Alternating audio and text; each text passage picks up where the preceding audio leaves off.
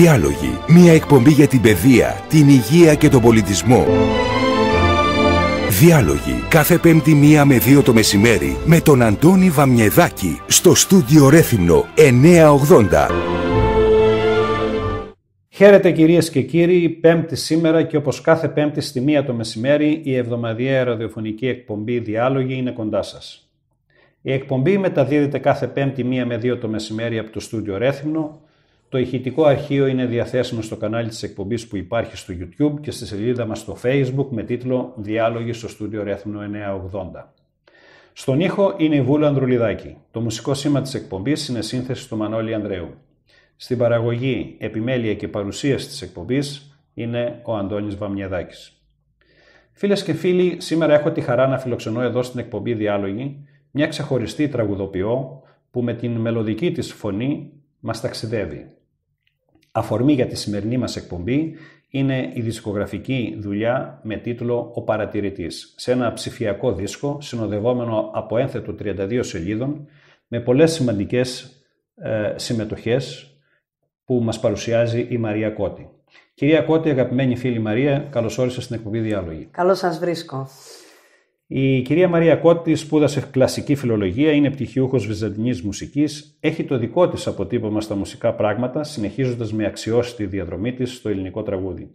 Για χρόνια μέλος των Χαΐνιδων, τώρα ακολουθεί τη δικιά της προσωπική πορεία στη σύγχρονη μουσική σκηνή. Έχει συμμετάσχει σε διάφορα σχήματα παραδοσιακής και λαϊκής μουσικής και έχει παρακολουθήσει μαθήματα βουλγάρικου και τουρκικού τραγουδιού. Έχει αρκετές συμμετοχές στην δισκογραφία, καθώς και εμφανίσεις με γνωστούς μουσικούς στην Ελλάδα και στο εξωτερικό. Διδάσκει και διοργανώνει εργαστήρια παραδοσιακού τραγουδιού στην Κρήτη, την Αθήνα, την Ικαρία και αλλού. Είναι βαθιά σκεπτόμενη, κοινωνικά ευαίσθητη και έχει ένα δικό της ιδιαίτερο τρόπο μέσα από το τραγούδι να εκφράζει τα συναισθήματα και τις ανάγκες της κοινωνίας. Ε, φίλη Μαρία, θα ήθελα να ξεκινήσουμε την συζήτησή μας. Όλοι, ο κλάδος ο δικός σου, ο καλλιτεχνικος ήταν εδώ και πολλούς μήνες σε ένα επάγγελμα σε αναστολή. Θα ήθελα να α, μας πεις να ακούσουν και οι φίλοι και οι φίλες ακροάτριες και ακροατές ε, πώς βίωσες εσύ όλη αυτή την περίοδο της αναστολής, πώς βίωσες όλη αυτή την κατάσταση; Ε, τι βίωσα όπως οι περισσότεροι συνάδελφοί μου, οι συνεργάτες μου, δύσκολα θα έλεγα, και όσον, όσον αφορά βέβαια τον εγκλισμό μου, δηλαδή ε, το, το ότι ήμουν συνέχεια μέσα όπως ο περισσότερος κόσμος, ναι. α, το οποίο φυσικά δεν ήταν εύκολο για κανέναν, ειδικά για εμάς που είμαστε και γονείς. Ε, Παρ' όλα αυτά, ε, μπορέσαμε και μέσα σε αυτή την περίοδο να σταθούμε δημιουργικοί, ε, γιατί η έμπνευση είναι κάτι το οποίο μπορεί να προέλθει ειδικά από δύσκολες και οριακές καταστάσεις, και θα έλεγα ότι δεν ήταν τελικά μία κενή και άδεια περίοδος. Ήταν μία περίοδος γεμάτη. Εγώ να προσθέσω τη δυσκολία και, και, παραγωγική. Και παραγωγική. γιατί η, η επόμενη μου ερώτηση έχει να κάνει ναι. ότι ε, ζούμε όλοι σε μια κοινωνία με πολλά προβλήματα και όλοι παρατηρούμε ότι η κοινωνία αναστενάζει. Ναι. Ε, εσύ μέσα από τη νέα σου δισκογραφική δουλειά, ο παρατηρητης αν δεν κάνω λάθος αυτό είναι το ναι, όνομα, σωστά; ο παρατηρητής. Τι θέλεις να πεις στον κόσμο, τι, τι είναι αυτό που παρατηρείς όλη αυτή την περίοδο, υπάρχει λόγος που επέλεξες το συγκεκριμένο τίτλο; Ναι, βεβαίως. Είναι ένας τίτλος ο οποίος ίσως με επέλεξε. Αυτό είναι πιο σωστό. Ναι. Ε, Όπως και τα τραγούδια και οι στίχοι, κάπου υπάρχουν και μας επιλέγουν και μας επισκέπτονται και γίνονται μετά κοινό κτήμα. Έτσι. Ε, εγώ προσπαθώ, προσπάθησα τα τελευταία χρόνια, ιδιαίτερα μετά που κατέβηκα στην Κρήτη από την Αθήνα, από 10 χρόνια παραμονή στην αθηνα ε, αποφάσισα να υιοθετήσω τη ματιά του παρατηρητή σε πάρα πολλά πράγματα. Αυτό έγινε, και, αν θέλεις Αντώνη, και από μια βαθιά εσωτερική ανάγκη ύπαρξης. Να γνωρίσω καλύτερα τον εαυτό μου, να βρω τις δικές μου στράτες, να τις ακολουθήσω. Οπότε τιμή Σένεκεν από τη μία ναι. ο τίτλος στο δίσκο. Από την άλλη, όντως η ματιά του παρατηρητή είναι κάτι το οποίο με, με προβληματίζει και με απασχολεί πάρα πολύ τα τελευταία χρόνια. Μου, ε, προσπαθώ να βλέπω με τα μάτια του παρατηρητή που δεν είναι άλλος από το περίεργο και ξεχασμένο παιδάκι που έχουμε μέσα στην ψυχή μας, που έχουμε μέσα μας. Αυτό το παιδί που κάνει συνέχεια ερωτήσεις, που δεν σταματάει να μαθαίνει, που δεν σταματάει να ονειρεύεται, να έχει φαντασία. Αυτό που λείπει στις μέρες μας δηλαδή, που έχουμε γεμίσει από οθόνες, από πράγματα ας πούμε που είναι πλαστικά, από τις σχέσεις μέχρι τα πλαστικά που έχουμε στο σπίτι μας. Ε, οπότε θα έλεγα ότι και τα τραγούδια του δίσκου ε, έχουν ε, αυτή τη ματιά του παρατηρητή. Η στίχη. Η στίχη που για πρώτη φορά εδώ τολμώ να καταθέσω. Α, είναι η πρώτη ναι, φορά η πρώτη που... Μου, ναι, που, η πρώτη φορά που ε, εκτίθεμαι ως τυχουργός ε, σε δισκογραφική εργασία. Ναι. Ε, παλιότερα βέβαια, στη, όταν, όταν ήμουν στο Πανεπιστήμιο στο Ρέθιμνο τη δεκαετία του 90, είχα ήδη εκτεθεί σε metal συγκρότημα, στο Σάσφοντελ, με στίχους. Στα αγγλικά βέβαια έγραφα τότε. Αχα. Αλλά αυτό είναι κάτι το οποίο το έκανα πάντα και ποτέ δεν τολμούσα, και ειδικά ελληνικό στίχο δεν τολμούσα να εκδώσω.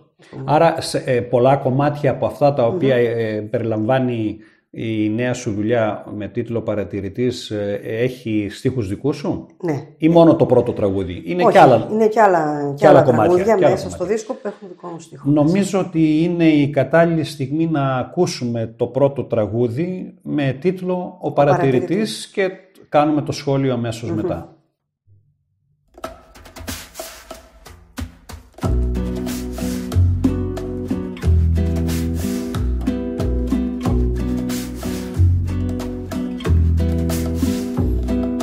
Η άγρια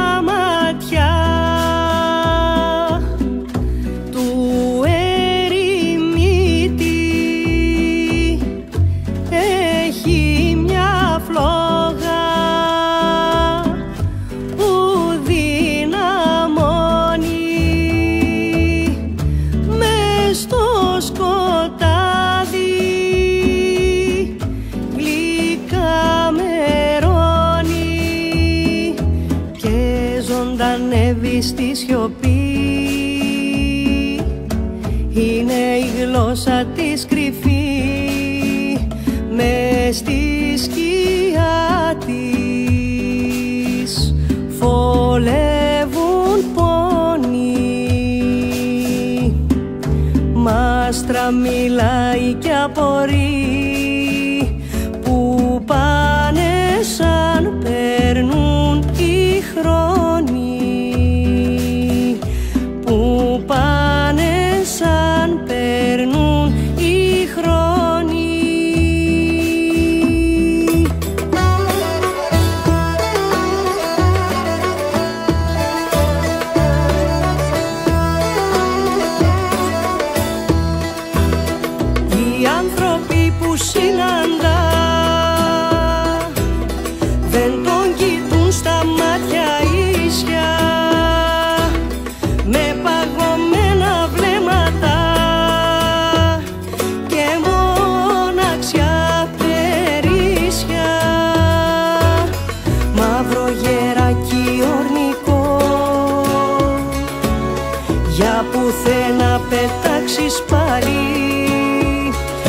πως ζει ο παρατηρητής γυμνός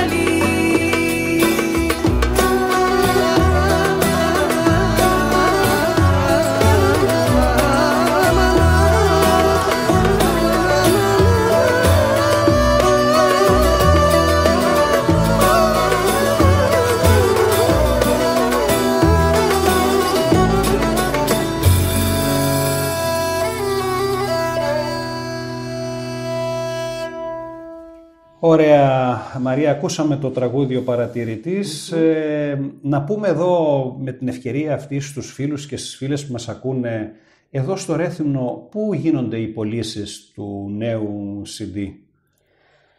Ε, η- το Έχω πρώτο ακούσει στο- ότι ε, ναι. και ξέρω καλά ότι θα ε, πω- πωλιέται αυτή τη στιγμή στο μουσικό τμήμα του βιβλιοπωλείου Κλαψινάκη. Ωραία. Ε, αλλά νομίζω ότι υπάρχει και κάποιος άλλος χώρος Ναι, στο μπορούμε να το βρούμε Χαβεσιλίκι. και στο Χαβεσιλίκι, στο φιλόξενο και αγαπημένο μας καφενείο στο κέντρο, στη Μητρόπολη, Ναι. στο κέντρο του Ρεθύμνου. Ε, μάλιστα, ο- εκεί παίζουμε κιόλας, κάναμε και την παρουσίαση πρόσφατα του δίσκου, εκεί ξεκίνησαμε από το, από το Χαβεσιλίκι την παρουσίαση, στο Κλαψινάκι όπως είπες. Και να πούμε ότι εκτός από το πολύ ωραίο περιβάλλον έχει και, και οικονομικό φαγητό και πολύ ωραίο φαγητό. Βεβαίως, έχει Έτσι, πάρα και- πολύ και, και- τα παιδιά είναι θαυμάσια. και δημιουργούνται που πολύ έχουν ωραίες αυτό το χώρο, παρέες, να τα το αγαπάμε πούμε, πολύ. για το Έχουμε- χώρο ναι, αυτό. ακριβώς. Είναι κοιτίδα αυτή τη πολιτισμού στο Ρέθμινο. για το Και Ρέθμινο. επίσης στις σχολές χώρου Τζανιδάκη μπορούμε να βρούμε το CD. Α, πολύ ωραία. Εκεί που κάνω τα μαθήματά μου. Ναι, πολύ ωραία. Ε, το οποίο είναι, νομίζω, σε ποια περιοχή είναι οι σχολές Ζανιδάκη. Είναι στην περιοχή της του Αγίου Καλυθέας, Γεώργιου. στην Πορτάλιου. Πολύ ωραία. Στην, στην πλατεία του Αγίου Στην Γεώργιου πλατεία του από Αγίου πάνω. Γεώργιου απέναντι. Ναι, ναι. Τώρα, να ξαναπάμε πάλι στη δουλειά σου, Μαρία. Ποιους συμβολισμούς φέρνει αυτή η δουλειά, κατά τη γνώμη σου, Υπάρχει κάτι που σε προβλημάτισε ε, ιδιαίτερα την περίοδο της δημιουργίας του; Η περίοδος της δημιουργίας του ε, καταρχήν δεν είναι μικρή. Υπήρχε καιρός, προετοιμαζόταν καιρό αυτός ο δίσκος. Ε, μέσα στην ε, πορεία αυτής της προετοιμασίας μεσολάβησε μια εγκυμοσύνη. Ε, Δημιουργικά πράγματα. Βέβαια, ένα, δύο, δύο καραντίνες, ο εγκλισμός, ε, όλα αυτά που ζήσαμε. Οπότε πώς γίνεται να μην έχουν αποτυπωθεί; Άρα και η εγκυμοσύνη που ε, Φυσικά. οικειοφορεί το λοιπόν, Βέβαια. οικειοφορεί το ταυτόχρονα, Ταυτόχρονα, εκτός δύο παιδιά από την έκανα. ανθρώπινη Ναι, ύπαρξη ακριβώς. ε, να σου ζήσουν Ακριβώς, με την ευχαριστώ ευκαιρία πάρα πολύ. ε, οικειοφορεί το και μια καλλιτεχνική δουλειά. Ακριβώς, ακριβώς. Όλα αυτά αποτυπώθηκαν με έναν τρόπο. Ε, Και φυσικά είναι ο- μέσα στο δίσκο αυτό όλοι οι ζωντανοί και όλοι οι νεκροί μου όπως λέω. μμμ. Είναι αυτός ο παρατηρητής ο οποίος ε, αποτυπώνεται στο στίχο, στη μελωδία. Ε, η, η διαδρομή μου είναι από τη δεκαετία του 90 που πρωτοξεκίνησα να τραγουδάω εδώ στο Ρέθυμνο ε, ως ε, τραγουδίστρια ρεμπέτικου και έντεχνου. Αλλά ταυτόχρονα είχα φτιάξει μια metal μπάντα του Σάσφοντελ εδώ στο Ρέθυμνο, μια πολύ δημιουργική μπάντα η οποία υπάρχει ακόμα πρέπει να σου πω. Αχα. ε, απλά δεν είναι τόσο δραστήρια όσο παλιά. Ε, και με ενδιαφέρει πάρα πάρα πολύ να μπαίνω σε διάφορα βλάκια της μουσικής. Η μουσική είναι ένα τεράστιο ποτάμι με πάρα πάρα πολλούς παραπόταμους και αυτό μου αρέσει. Ε, μου δίνεις την ευκαιρία τώρα να σε ρωτήσω, εσύ έχεις υπηρετήσει και το παραδοσιακό τραγούδι Μμμ. ε, και το έντεχνο, θα έλεγα ένα, ένα κομμάτι και το ρεμπέτικο ή τα, τα μπαχαονιώτικα αρκετά. Ναι, ναι. Ε, σε ποιο είδους τραγουδία αισθάνεσαι καλύτερα, πού, πού αισθάνεσαι πιο βολικά; Ε, δεν, δεν θέλω να βάζω ταμπέλες στα ενδιαφέροντά μου, α, απλά ε, μπορώ να πω ότι είναι ε, τεράστια η ομπρέλα και η παλέτα, ας το πούμε έτσι, των μουσικών μου αναζητήσεων και ενδιαφερόντων.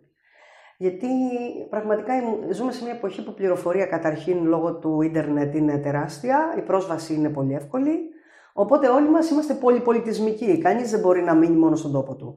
Φυσικά το να εντρυφήσεις ένα συγκεκριμένο είδος μουσικής, όπως είναι το ρεμπέτικο ή όπως είναι το παραδοσιακό τραγούδι ας πούμε του κόσμου, το, έτσι, των λαών Μμ. του κόσμου, σίγουρα είναι ένα, ε, ένας πάρα πολύ καλός τρόπος εκμάθησης της μουσικής. Οπότε Ναι. είναι καλό να διαλέξουμε, ας το πούμε έτσι, ένα είδος να το υπηρετήσουμε, να το ακολουθήσουμε, απλά να μην εγκλειστούμε σε αυτό. Να, να είναι οι γερές μας ανοιχτές. Γιατί ζούμε, ζούμε σε μια εποχή, όπως είπα, που δεν συγχωρείται να είμαστε μόνο στο τόπο μας, ας πούμε, προσιλωμένοι. Αυτό, όπως ξέρουμε πολύ καλά, εγκυμονεί διάφορους κινδύνους, έτσι. Ναι. Είναι γνωστά. Ε, άλλωστε και σαν χώρα νομίζω ότι είμαστε και σε ένα σταυροδρόμι πολιτισμών. Ναι. Ακριβώς, ανέκαθεν. Οπότε και οι επιρροές που έρχονται από όλες τις μεριές καλό είναι να Ναι. Έτσι, πολλές τις ετερότητες αφήνουμε ανοιχτές τις πόρτες καλοδεχούμενες. και Ακριβώς, καλοδεχόμενες. ναι. ακριβώς. Τώρα, με αυτή τη νέα σου δουλειά, Μαρία, ε, αυτό που έκανες ε, σου έδωσε δύναμη ε, να κοιτάξεις με μεγαλύτερη αισιοδοξία το αύριο; Αισθάνεσαι... Α, ε, φυσικά. ναι. Ε, οτιδήποτε, οτιδήποτε κάνουμε, σε, μη- ειδικά σε μια εποχή δύσκολη, με οριακές καταστάσεις όπως αυτές που βιώνουμε, Που τι, που τι κάνουν, είναι σαν να περνάμε αυτή τη στιγμή μία μαύρη τρύπα. Από κοντά από μία μαύρη τρύπα, η οποία τι έχει, έχει την τάση να μας ρουφήξει και να μας πάει κάπου αλλού. Δεν ξέρουμε που θα είναι αυτό. Ή θα, ή θα πεθάνουμε ή θα αναστηθούμε. Μάλλον θα πεθάνουμε για να αναστηθούμε. Αλλά πάω αλλού τώρα. Κατά τη θρησκευτική έννοια. Ακριβώς. Ναι. Ε, θέλω να πω ότι κάτι καινούριο θα προκύψει μέσα από όλη αυτή την κατάσταση που ζούμε. Αν και εφόσον βέβαια η ανθρωπότητα αποφασίσει να διαιωνίσει το είδος της και όχι να αυτοκαταστραφεί. Α πάμε λοιπόν στην αισιόδοξη πλευρά. Αυτό το οποίο θα συμβεί αυτή τη στιγμή δεν μπορούμε να το ξέρουμε. Όμως, ακριβώς επειδή δεν μπορούμε να το ξέρουμε και δεν μπορούμε να το ελέγξουμε, το μόνο που έχουμε να κάνουμε είναι να αντιπροτείνουμε στη φθορά. Τι μπορούμε να αντιπροτείνουμε, δημιουργικότητα. Έργα τέχνης, δημιουργία. Θα μου πεις με τι ψυχικό απόθεμα τη στιγμή που ούτε χρήματα είχαμε εμείς οι καλλιτέχνες τόσο καιρό, ήμασταν όπως καταλαβαίνεις, όπως και πολλά άλλα επαγγέλματα, με το πρόσχημα, θα έλεγα, του COVID, το οποιοδήποτε COVID. Ναι, ναι, ναι. ε, ήμασταν σε κατάσταση αναστολής, όπως είπες.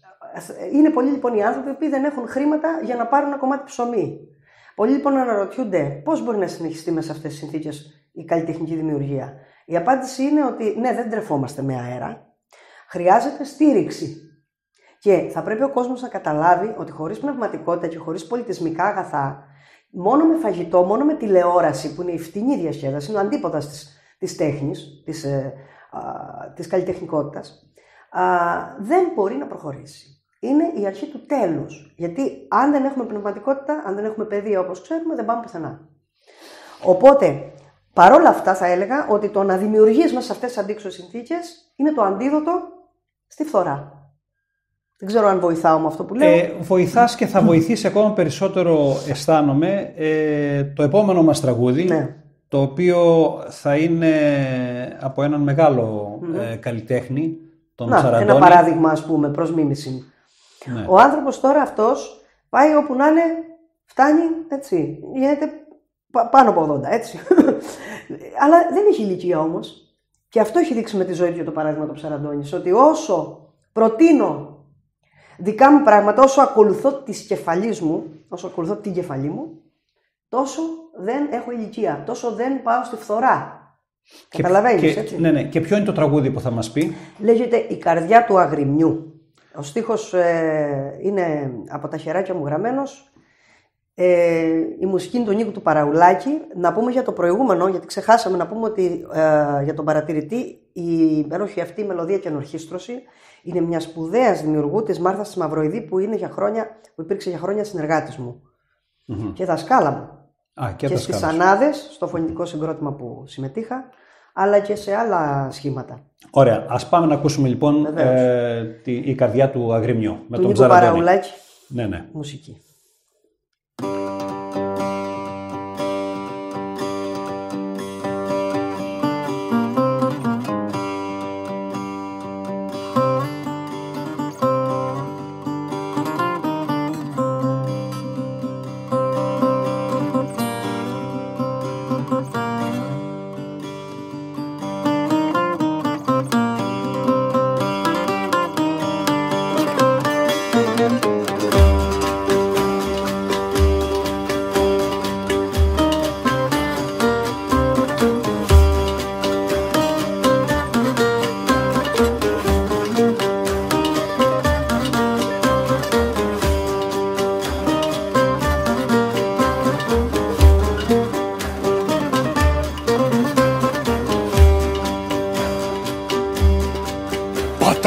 Άκρες και πετά.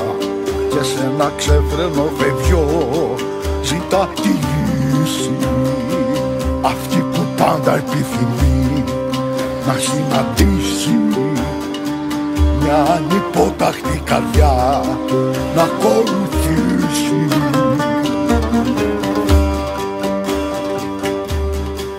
Δεν κάνει για όνειρα μ' αυτά που ζήταμε ρολέ μες στην καρδιά του αυτή που πάντα άκουγε και γνώριζε θαρή καλά στο αισθηκτό του μακριά και στη ματιά του. Δεν κάνει για όνειρα μ' αυτά που ζει καμέρωνε μες στην καρδιά του. Αυτή που πάντα άκουγε και γνώριζε τα ρικαία στο αίσθηκτο του να και στη μαφιά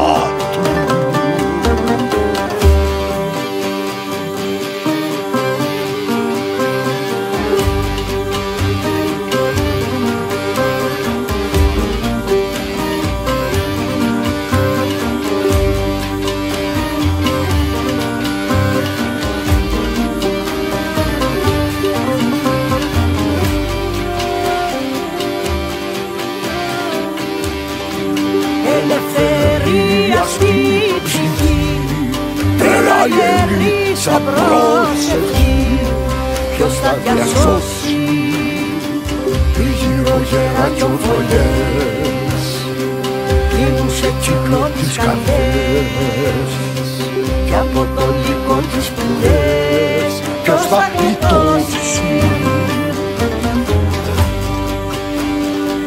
Ελευθερία στη ψυχή τρέλα γερή σαν πρόσευχη ποιος θα διασώσει τριγύρω γέρα κι οφωνιές κλείνουν σε κύκλο τις καρδιές. Κι από το λίγο τις πηγές. Ποιος θα γλιτώσει.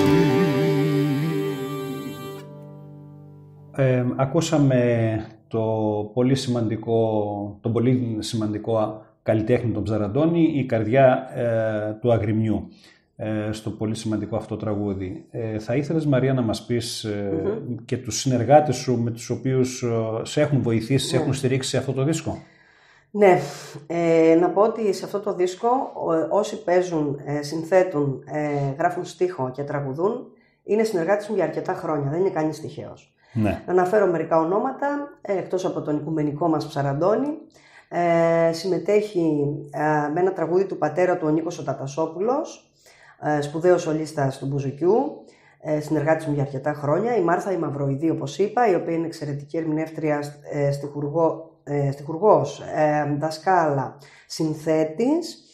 Ε, ο Δημήτρης ο ε, με, που έχει κάνει καταπληκτικές ενορχιστρώσεις σε κάποια τραγούδια μέσα στο δίσκο ο ερμηνευτής κιθαρίστας και συνθέτης Δημήτρης Ζαχαριουδάκης, για χρόνια συνεργάτης μου στους Χαΐνιδες. Ο Νίκος ο Μαστοράκης από την Ιεράπετρα, υπογράφει δύο εξαιρετικά τραγούδια στο δίσκο. Ο Νίκος ο Παραουλάκης, που υπογράφει την καρδιά του Αγριμιού. Ο Μιχάλης Σοκώτη, ο αδερφός μου, ο οποίος υπήρξε ο πρώτος συνεργάτης μου στη μουσική μου πορεία. Συμμετέχει και με φωνή και με μουσική και με σύνθεση ε, σε δύο κομμάτια και διάφοροι άλλοι σπουδαίοι και μη εξαιρεταίοι. Ε, έχεις ε, συνεργαστεί με, στην πορεία σου Μαρία με σημαντικούς και σπουδαίους Ε, το ερώτημά μου είναι, υπήρξαν κάποιοι που έπαιξαν καταλητικό ρόλο στην καλλιτεχνική σου διαδρομή; Φυσικά. Θα έλεγα ότι όλοι οι άνθρωποι που, τους οποίους συνάντησα σε αυτό το μουσικό μου ταξίδι α, ήταν ιεροί και δεν ήταν τυχαίοι. Κανείς. Ναι. Ε, θα, έλεγα, θα ξεχώριζα τον Δημήτρη τον Αποστολάκη, το Χαΐνι, για χρόνια συνεργάτη μου στους Χαΐνιδες, τον Δημήτρη τον Ζαχαριουδάκη φυσικά, και αυτός από τους Χαΐνιδες, τον Νίκο τον Τατασόπουλο, ε, ο οποίος είναι αδερφικός φίλος, σπουδαίος, σολίστας σπουδαίος άνθρωπος, ε, και άλλους αρκετούς, δεν ξέρω ποιον να πρώτο αναφέρω. Ναι, ε, εν πάση περιπτώσει, ε, ε σημασία έχει ότι, ότι αναγνωρίζεις τους ανθρώπους αυτούς. Ότι... Τους συνεργάτες μου, τους συμπορευτές μου, αλλά όπως λέω και στο δίσκο μέσα, Αντώνη, ε, υπήρξαν αρκετοί άνθρωποι που δεν ανήκαν στο μουσικό χώρο, οι οποίοι, α, τους οποίους αναφέρομαι στο δίσκο, τους έχω αφιερώσει τραγούδια, δεν είναι πια στη ζωή αρκετοί από αυτούς, ένας μάλιστα ο οποίος ήταν μουσικός, ο οποίος έχει γράψει ένα κομμάτι στο δίσκο, ο Γιώργος ο Μαυρομανολάκης, δεν είναι πια στη ζωή, αδερφικός και αυτός φίλος και συνεργάτης. Αυτός μάλιστα μου έγραψε τη μουσική για το πρώτο μου τραγούδι. Α, που είναι στο δίσκο, λέγεται «Ξένος θα μείνω να γυρνω αλλα και άλλοι που δεν ήταν όπως είπα μουσική, το επάγγελμά τους ήταν αυτό, όμως ήταν συμπορευτές, συνεργάτες με άλλους τρόπους.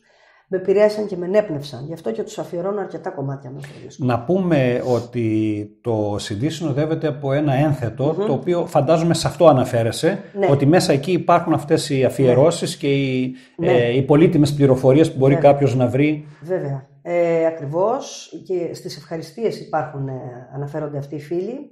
Να πω εδώ βέβαια ότι στο CD αυτό, επειδή αναφέ- ανέφερες στο ένθετο, Ναι. Ε, εκτός από τους μουσικούς, ε, τους συνθέτες, τους τυχουργούς που συμμετέχουν και πλαισιώνουν και ε, σε αυτούς οφείλεται τέλος πάντων το συνολικό αποτέλεσμα αυτού του, αυτής της δουλειάς, ε, συμμετέχουν και πάρα πολύ καλοί καστικοί.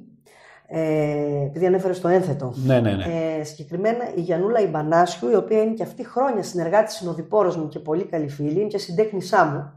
Έχει βαφτίσει το γιο μου. Ε, η οποία- στην οποία οφείλεται αυτή η τέλεια εικονογράφηση του CD. Ε, τέλεια είναι προσωπική μου άποψη, δεν είμαι καθόλου μετριόφρον. ναι. Ε, Μα νομίζω ότι και όσοι το ναι, έχουμε δει ναι, ε, ναι. έχουν, ε, έχει μια καλεσθησία Έτσι, ιδιαίτερη. έτσι. Η Μαριάννα Ιτζηράκη, η οποία, και, και η Μιχαέλα Ιτζηράκη, που υπεύθυνες για τη φωτογράφηση, για τις φωτογραφίες που υπάρχουν στο ένθετο, ε, η Ιωάννα Σταθοπούλου έκανε το make-up. Ε, δηλαδή υπάρχει τέλος πάντων Μια ομάδα μια ανθρώπων. ομάδα ανθρώπων Ναι, ναι. που συνεργάζονται και σε αυτούς οφείλεται τόσο το περίβλημα όσο και το περιεχόμενο του CD. Έτσι. Ε, Να είναι καλά όλοι τους. Να είναι, να είναι καλά όλοι τους. Να πάμε και στο, σε ένα επόμενο τραγούδι, ε, το οποίο είναι, Μαρία, η Ανδρονίκη, νομίζω έχεις επιλέξει. Ναι. Να ακούσουμε; Η Ανδρονίκη, ε, ένα παραδοσιακό τραγούδι από την Κύπρο. Μμμ. Έμαθετε τι γίνει σε μέρη ελληνικά Δίθυνη Ανδρονίκη ρούχα ευρωπαϊκά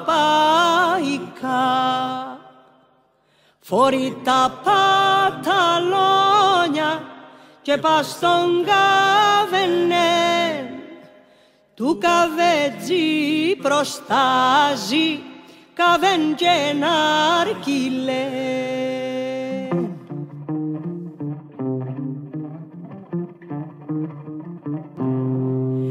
Τράβα και έναν τραπέζι και μια ματσά χαρκιά κι αρκίνησε να παίζει με έναν παλικαράν δυο φίλοι του αδερφού της την εγνωρίζα συν πάσινη στο Βαγγέλιν και τούτο είπα συν.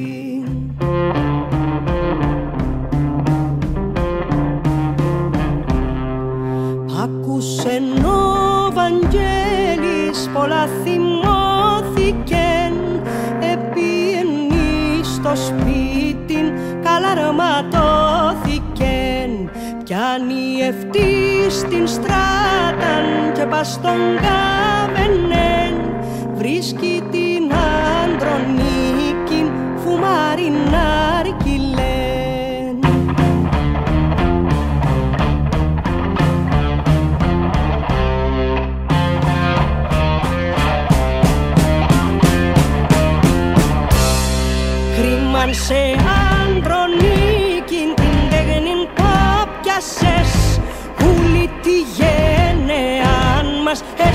εσού ανδρόπιασες Άφης με ρε Βαγγέλη να παίξω τα χαρκιά Με τούν το παλικάρι αφούς με αγαπά.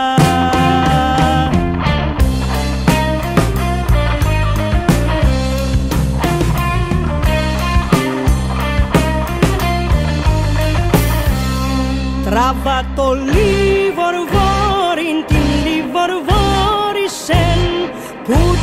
το δεξίν βυζίν της η σφαίρα πέρασεν. Σύρνιγε το μαχαίριν που μες στη θήκη του και σφάξεν την αμέσως την ανδρονίκη του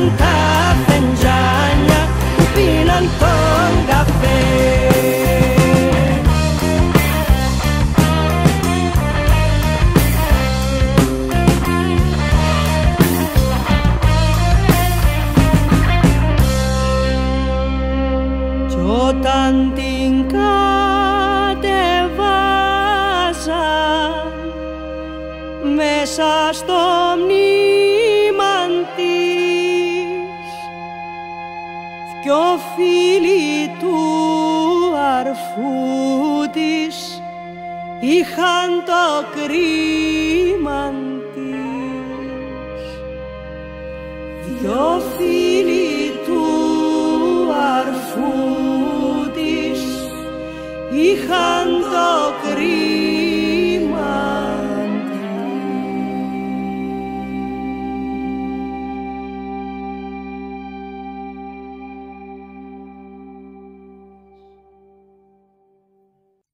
Μαρία, ακούσαμε το, την Ανδρονίκη, ε, ένα παραδοσιακό τραγούδι, όπως λες, της κυπρου Ε, τι νόημα στέλνει στην κοινωνία αυτό το τραγούδι, τι, τι, τι μήνυματα στέλνει; Ε, και, ποια, και ποιος ήταν και ο λόγος της επιλογής σου σε μια περίοδο δύσκολη για την ελληνική κοινωνία με πολλές γυναικοκτονίες; Ακριβώς, ακριβώς. Ε, είχα, όπως και όλος ο κόσμος, ειδικά βέβαια όταν είσαι γυναίκα ε, και νιώθεις περισσότερο έντονη την απειλή, απαράδεκτο για, για την εποχή που ζούμε, δυστυχώς όμως υπάρχει όπως είδαμε και μάλιστα γίνεται έντονο σε οριακές καταστάσεις, ε, ζορίστηκα πάρα πολύ. Ζορίστηκα πάρα πολύ με αυτό το, το αποτρόπαιο έγκλημα το οποίο επαναλαμβάνεται και μέσα στο δίσκο αυτόν αποφάσισα να εντάξω τόσο την Αντρονίκη που αναφέρεται σε μια γυναικοκτονία α, όσο και την Έλλη η οποία είναι ένα κομμάτι από τη Μικρά Ασία με διαφορετικό στίχο.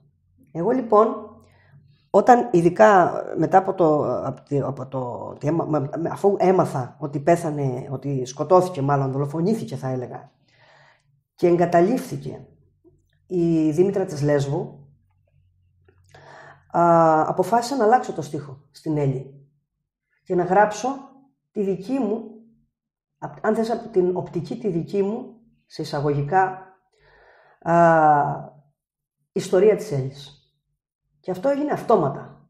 Την επόμενη μέρα της είδησης του θανάτου έγραψα αυτό το στίχο που, που λέει στην ουσία ότι η Έλλη δεν θέλει σκότωμα. Είναι η άλλη εκδοχή της ιστορίας. Αυτή που η πατριαρχική κοινωνία φυσικά δεν θα έγραφε ποτέ. Ε, οπότε θα έλεγα ότι γενικά σε αυτό το δίσκο, με αφορμή αυτά τα δύο κομμάτια, Μμμ. α, Την Ανδρονίκη ναι, και την την Έλλη, Ανδρονίκη ναι. και την Έλλη, Ναι, ναι. Η οποία δεν θέλει σκότωμα σε αυτήν εδώ την εκδοχή. Α, αυτό που κάνουμε είναι, αυτό που κάνουμε σε αυτό το δίσκο είναι να ανατρέπουμε και να ξανακοιτάμε από την αρχή τα γεγονότα και να αντιπροτείνουμε. Αυτό πρέπει να κάνει, θεωρώ εγώ, η τέχνη στις μέρες μας, αν έχει κάποιο ρόλο πια και κάποια επίδραση στον κόσμο. Που τα έχει δει και τα έχει πάθει όλα. Λοιπόν, α, αυτό το μήνυμα θέλαμε να δώσουμε λοιπόν, τόσο μέσα από την Έλλη, όσο και μέσα από την Ανδρονίκη. Ναι. Θέλω να σε ρωτήσω, Μαρία, το εξής με αφορμή τα λόγια σου αυτά, ε, αλλά και τα τραγούδια. Ποιες είναι οι δυσκολίες, αλλά και ποιες είναι οι προκλήσεις που, στην αντιμετώπιση του φαινομένου των γυναικοκτονιών. Πού, πού θεωρείς ότι βρισκόμαστε ως κοινωνία στα θέματα έμφυλης βίας σε σχέση με, με άλλες κοινωνίες; Και ποιοι- τι, τι πρέπει κατά τη γνώμη σου να γίνει; Το καλό είναι ότι αρχίζουν αυτά με, με το κίνημα, το MeToo και με όλες αυτές τις δράσεις, αρχίζουν όλα αυτά και βγαίνουν στο φως. Είναι πολύ σημαντικό που αποκαλύπτονται. Και, Και που ο υπάρχει- κόσμος παίρνει ναι, το θάρρος ακριβώς, και τα, τα θύματα λέει να και μιλήσουν. Τα βγάζει, Ναι. βεβαίως, γιατί τα είχε, αυτά γίνονταν πάντα, α, απλά κρύβονταν και μάλιστα ως, μια, ως ένα σημείο, μέχρι και πολύ πρόσφατα, θεωρούνταν και αξιακά, αποδεκτά κλπ. Έτσι ότι συνέβαιναν αυτά, Ναι, δεν μπορούμε ναι. να κάνουμε κάτι. Όχι, μπορούμε να κάνουμε. Να γιατί, γιατί υπάρχει αυτή η παθογένεια, πρέπει να την βγάλουμε στο φως. Βλέπουμε ε, να δολοφονούνται άνθρωποι στο κομμάτι που έχω γράψει στο δίσκο «Η Έλλη», Μμμ. ε, αφού, αφού, α, τραγουδήσω, το- αφού τραγουδώ το στίχο μέσα, στη συνέχεια κάνω έναν αμανέ και αναφέρω όλα τα ονόματα όλων των δολοφονημένων όλα αυτά τα χρόνια, από τον Παύλο Φίσα, από την Καρολάιν μέχρι το Βαγγέλη Γιακουμάκη, έτσι, και την Δήμητρα. Το κομμάτι Έλλη λέγεται κι αλλιώς «Και εσύ καημένη Δήμητρα από την επαρχία».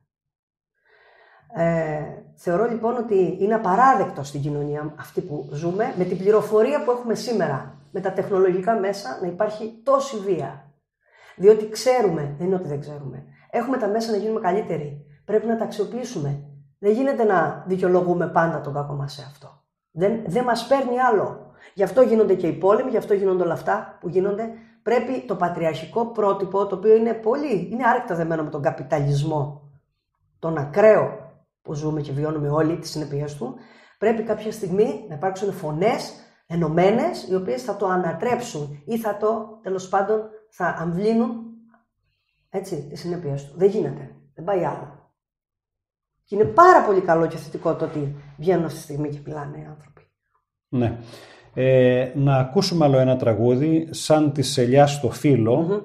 Πάμε σε ένα τρυφερό τώρα τραγούδι. Ναι, Αυτά που πάμε λέμε σε- δεν είναι και τόσο. ναι, ναι, ε, να, για να χαλαρώσουμε λιγάκι, για να, για να, να αισθανθούμε και λίγο έτσι ανθρώπινα Ναι. ε, μέσα στην απανθρωπιά της ε, που εμπεριέχει η κοινωνία και τα μηνύματα, τα μηνύματα που μας στέλνει η κοινωνία, Ναι. χρειάζεται και λίγο να αισθανθούμε λίγο άνθρωποι. Και νομίζω ότι αυτό το τραγούδι, τουλάχιστον εγώ έτσι πως το άκουσα, είναι πολύ τρυφερό. Ναι. Ε, αυτό το τραγούδι, νομίζω η στίχη είναι... Η στίχη είναι του, του πατέρα μου, του Γιώργου του Κώτη, ο οποίος είναι φιλόλογος.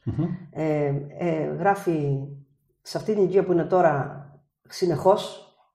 Ε, συνεχώς γράφει στίχους, γράφει πεζά. Ε, μόλις πήρε τη σύνταξή του, άρχισε να γίνεται ακόμα πιο δημιουργικός. Κάτι λέει αυτό. Και διάλεξες... Και Ε, διάλεξε αυτό το, αυτό το μικρό ε, νανουρίσμα, το οποίο το έγραψε ε, και μου το έδωσε. Ε, εμπνεύστηκε από τη γέννηση των εγγονιών του και εγώ πήρα αυτή την τρυφερότητα και την έβαλα στο δίσκο. σαν τη σελιά στο φύλλο λοιπόν. Ας το ακούσουμε. Νάνι, νάνι, να το χαρώ σαν τη σελιά στο φύλλο σαν το πουλάκι το νερό σαν το βουνό τον ήλιο. Νάνι το μήλο της μιλιάς σαν του ουρανού το χρώμα σαν ανθός τριάντα φιλιάς που έχει της γης το χρώμα. Νάνι, νάνι, να μου κάνει κι όπου το πονεί να γιάνει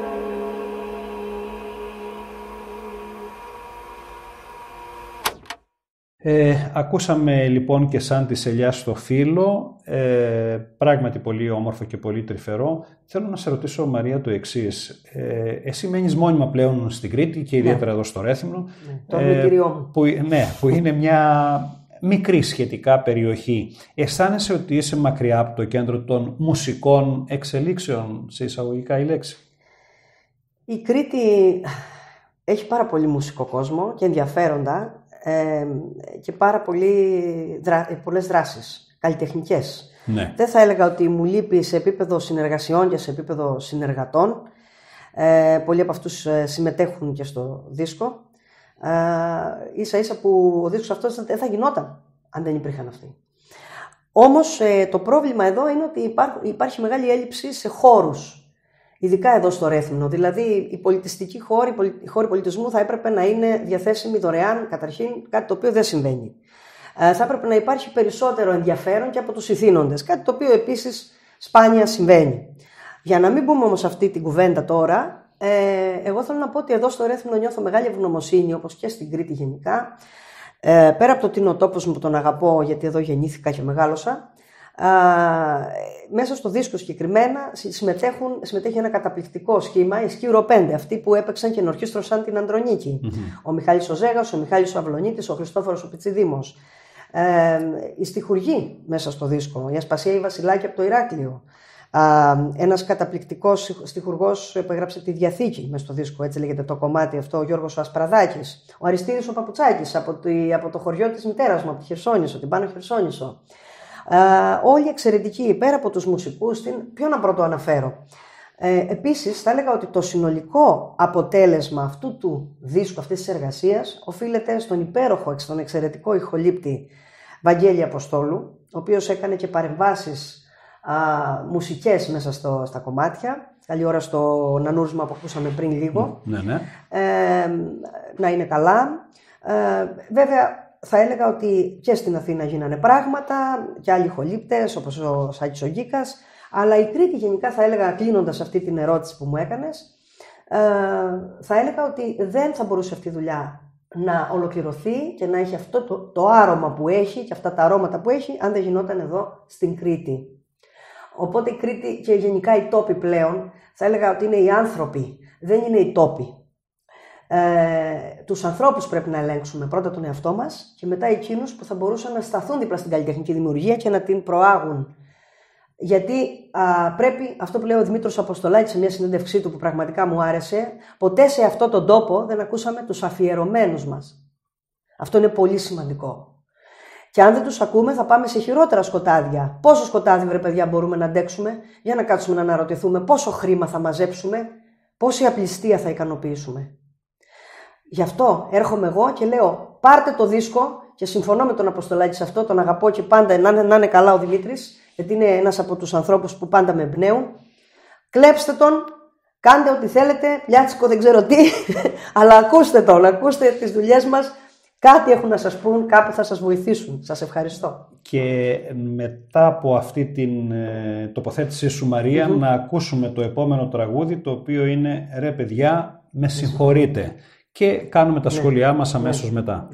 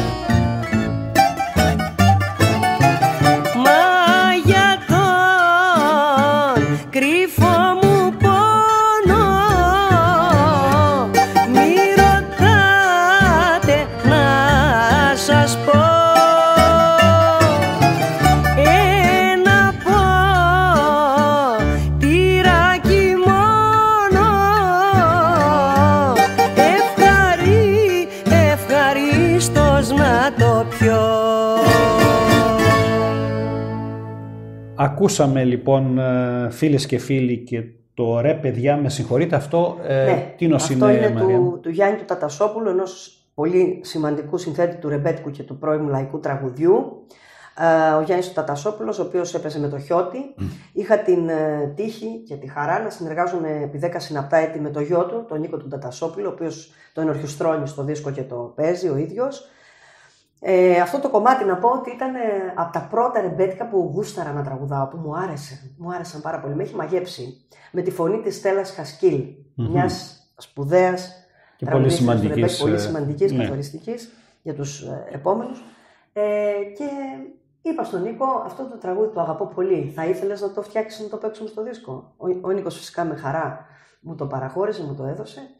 Ε, είναι τιμή μου που έχω ένα τραγούδι ενός τόσο σπουδαίου συνθέτη του λαϊκού μας τραγουδιού, γιατί και εγώ το αγαπώ αυτό το είδος τραγουδιού. Το θεωρώ πιο κοντά στην καρδιά μου από όλα τα άλλα είδη, ας το πούμε έτσι.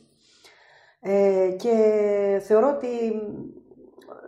ε, είναι σπουδαίο να ξαναπροτείνουμε τέτοια Τραγούδια σημαντικά και να, τραγούδια. να, να Ναι, γίνει επανεκτελέσεις ναι, με, τη, με ναι, τη σημερινή... ναι. Όχι να μένουμε σε αυτό, μόνο στις επανεκτελέσεις και στις, ε, στο να ξαναπροτείνουμε, αλλά είναι ωραίο και αυτό μέσα Ναι. σε μία ε, δουλειά. Όταν έχει κάτι αλήθεια, περνάει όπως ξέρουμε το φίλτρο του χρόνου. Ναι. Ε, Μαρία, έχω παρατηρήσει ότι σε αρκετά τραγούδια σου περιγράφουν Ναι. και, και, και, και από αυτά τα οποία πριν από λίγο συζητήσαμε, περιγράφουν ιστορίες. Υπάρχει συνταγή για την επιτυχία, για, να, για, για να, ένα τραγούδι για να βγει επιτυχημένο; Υπάρχει κάποια συνταγή συγκεκριμένη; Δεν θα έλεγα ότι υπάρχει συγκεκριμένη συνταγή, όχι. Είναι απρόβλεπτη η πορεία ενός τραγουδιού. Εγώ, ας πούμε, για τον παρατηρητή που όλοι μου λένε τώρα πω, πω πόσο μας αρέσει αυτό το τραγούδι, δεν, δεν το είχα σκεφτεί ποτέ. Για κάποια άλλα τραγούδια που τα θεωρούσα μέσα, θα λέω θα αρέσουν αυτά τα τραγούδια, θα είναι. Με απασχολούσε. Είχες αυτό. την έννοια, είχες ναι, την αγωνία, Είχα την ναι. έννοια, ας πούμε. Ναι. Ε, έβα- έχω βάλει ένα τραγούδι, ας πούμε, με πιάνο και φωνή. Το οποίο πάει, με πάει σε άλλα, είναι δική μου στίχη. Εκεί είναι ο Ισίδωρος ο Παπαδάκης, σπουδαίος και αυτός εδώ συν- έχει Ναι. υπογράψει τη σύνδεση. Ε, δεν, το, δεν, δεν περίμενα ποτέ, ή τον ανούρισμα, ας πούμε. Και όμως βλέπεις ότι τελικά ένας δίσκος είναι μια ενιαία εργασία που όλα μαζί φτιάχνουν το τελικό αποτέλεσμα. Γι' αυτό λέω σε όλους, μην ακούμε πια αποσπασματικά, όπως δυστυχώς έχουμε καταντήσει να ακούμε από το YouTube. Που ξαναλέω, είναι ένα εργαλείο. Δεν είναι ο τρόπος που πρέπει να ακούμε τη μουσική. Ε, θα, θα έπρεπε να ακούμε να έχουμε μια συνολική άποψη. Γιατί είναι ένα ενιαίο έργο, όπως είναι ένας πίνακας ζωγραφικής, έτσι ένα γλυπτό. Έτσι είναι και μια μουσική εργασία. Δυστυχώς έχουμε φύγει από αυτό. Ε, θέλω να σε ρωτήσω, Ναι. Μαρία, το εξής. Ποια, σε- ποια, σε- ποια συναισθήματα σε διακατέχουν Ναι. όταν ακούς τραγούδια σου που γράφτηκαν πριν από πολλά χρόνια, τα έχεις, ή- ήταν μεγάλες επιτυχίες με τους Χαΐνιδες ιδιαίτερα τα πρώτα χρόνια Ναι. ε, και σήμερα τα τραγουδούν άλλοι νεότεροι τραγουδιστές. Ποια συναισθήματα σε έκανε; Φυσικά χαίρομαι πάρα πολύ και διαπιστώνω για άλλη μια φορά το πόσο ένα τραγούδι είναι κάτι ζωντανό που ταξιδεύει, εμείς το, εμείς το γεννάμε, έτσι. Και αυτό έχει τη δική του πορεία. Ταξιδεύει και δεν ξέρουμε ποτέ είναι απρόβλεπτο πώς πάει η πορεία. Δεν υπάρχει συνταγή επιτυχίας, για να ξαναγυρίσω στην προηγούμενη ερώτηση. Σίγουρα τα τραγούδια που έχουν ιστορίες, όπως είναι ας πούμε τα δημοτικά τραγούδια, οι παραλογές παραδείγματος χάρη, είναι τα ριζίτικα, που έχουν ιστορίες, έχουν εικόνες, είναι πολύ δυνατά πράγματα αυτά, έτσι. Οπότε ένα τραγούδι, ας πούμε, θα, θα πιάσω πάλι την περίπτωση των Χαΐνιδων, επειδή εκεί αναφέρομαι γιατί ήμουν και πολλά χρόνια σε αυτό το σχήμα και έχω γνώση πάνω σε αυτό. Ο ακροβάτης, ας πούμε, είναι αρχιετυπικός σύμβολο. Καταλαβαίνεις. Ε, ο μάγος των Χαΐνιδων ή κάποια άλλα τραγούδια. Αυτά λοιπόν τα τραγούδια, ίσως θα λέγαμε ότι περιέχουν ή οι συνταγές μαγειρικής, έτσι, που αναφέρεται σε μια ιστορία αλλά με έναν τρόπο σπαραχτικό και τόσο κοινό στην συλλογική μνήμη ταυτόχρονα. Και τόσο Αυτά, σημερινό. α, Και τόσο, ακριβώς, μα γιατί, γιατί είναι κοινό, κοινό όπως είναι η ιστορία του Θουκυδίδη. Συγγνώμη που κάνω αυτές Ναι, τις... ναι, ναι. Μπορεί Όχι. κάποιος να με θεωρήσει, ας πούμε, Ναι. υπερβολικής σε αυτό που λέω. Κτήμα εσαΐ δεν έλεγε ο Θουκυδίδης ότι θέλει να κάνει την, ε, ότι θα είναι η ιστορία του. Ένα λοιπόν καλό έργο τέχνης, ανεξάρτητα από το αν είναι τραγούδι, ένας πίνακας, η συνταγή της επιτυχίας είναι μέσα, σαν σπόρος. Εμείς δεν μπορούμε να το προβλέψουμε. Ούτε αυτή είναι η αρχή μας πρόθεση. Πρόσεξε, είναι πολύ ύποπτο και σίγουρα δεν είναι πάντα σωστό, σχεδόν ποτέ μάλλον, το να, ε, το, το να ε, ε, κάνεις ένα τραγούδι για να γίνει επιτυχία, ας πούμε. Να κάνεις ένα έργο για να γίνει- γίνει επιτυχία. Είναι εκ του πονηρού. Δεν μπορείς να το ξέρεις. Πάντα. Δεν μπορείς να Μπορείς προβλέψεις να το αισθάνεσαι. ποια θα Ωραία, είναι ναι. η αντίδραση Α, του, το, του θε- κόσμου. Το πώ θα το εκλάβει είναι, είναι η δική του πορεία λοιπόν.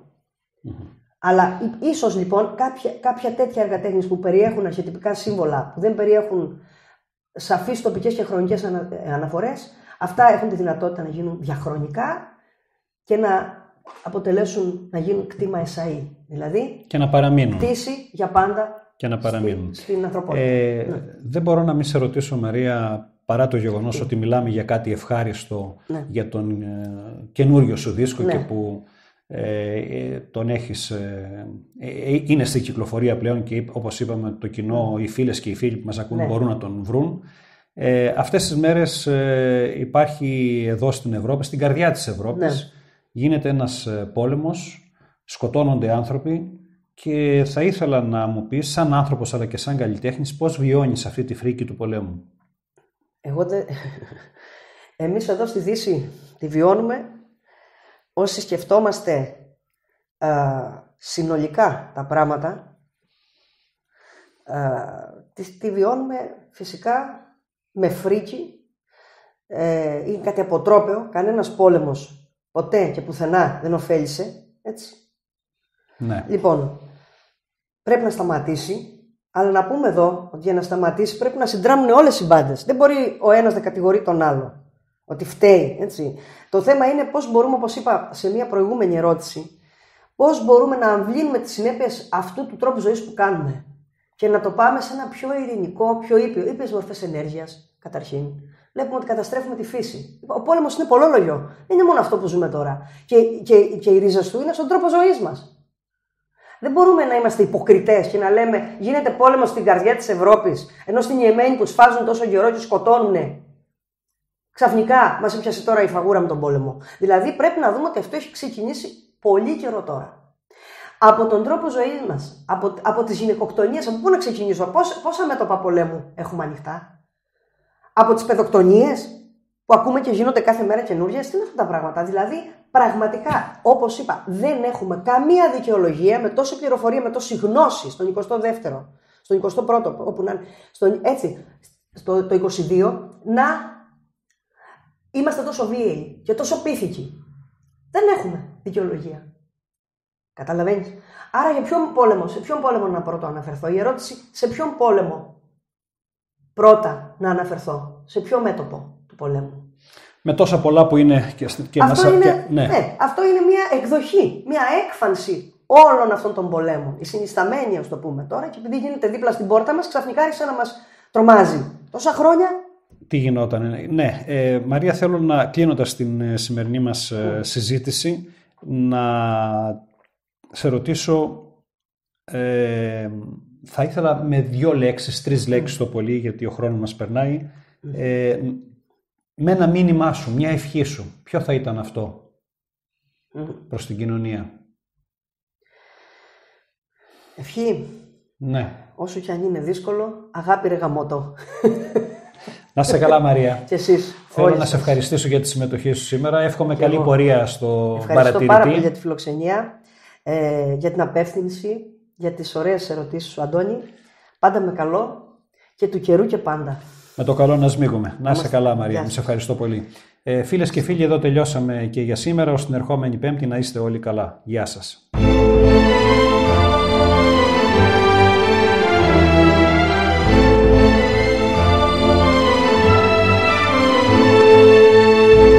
Διάλογοι. Μία εκπομπή για την παιδεία, την υγεία και τον πολιτισμό. Διάλογοι. Κάθε πέμπτη μία με δύο το μεσημέρι με τον Αντώνη Βαμιεδάκη στο στούντιο Ρέθυμνο 980.